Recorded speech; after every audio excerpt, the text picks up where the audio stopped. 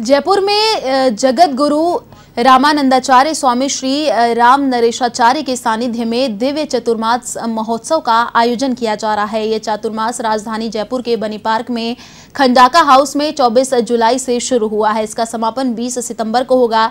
दिव्य चतुर्मास महोत्सव में प्रतिदिन सुबह भगवान श्री राम लला जी के विशिष्ट पूजन होते हैं। पूजा अर्चना के बाद दोपहर 12 बजे से एक बजे तक स्वामी श्री राम नरेशाचार्य भक्तों को आशीर्वचन दे रहे हैं। स्वामी श्री राम नरेशाचार्य को सुनने के लिए राजस्थान सहित अन्य कई राज्यों के भी भक्त पहुँच रहे हैं। तो वहीं ललिता आश्रम प्रन्यास जोधपुर की संस्थापिका साध्वी प्रीति भी आशीर्वचन दे रही हैं। मौके पर एवन टीवी के चैनल हेड अनिल लोढ़ा ने भी जगत रामानंदचार्य स्वामी श्री राम नरेशाचार्य से आशीर्वचन लिए। इस दौरान स्वामी श्री रम श्री राम नरेशाचार्य ने अनिल लोढ़ा को जीवन में आगे बढ़ने का आशीर्वाद दिया। तो भगवान ने स्वप्न दिया, बालाजी ने।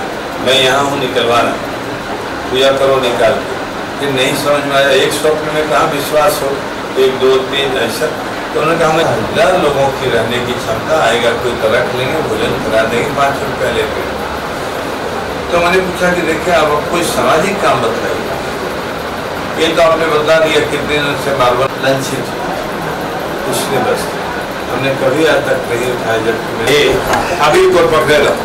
ऐसा करे थोड़े अरे हिंदा से आगे देख ऐसे आप पकड़ी रामचंद्र भगवान की ये गणेश जी को एक हज़ार लड्डू चढ़े थे तमाम तरह के केले मिले उसी का ये रखा हुआ आपके हिंदू का। लो।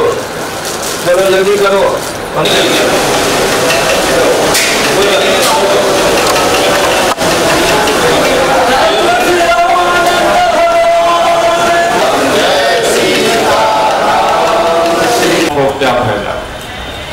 गंगा जी पदार्थ में चली गई तो उससे हमारा क्या होगा?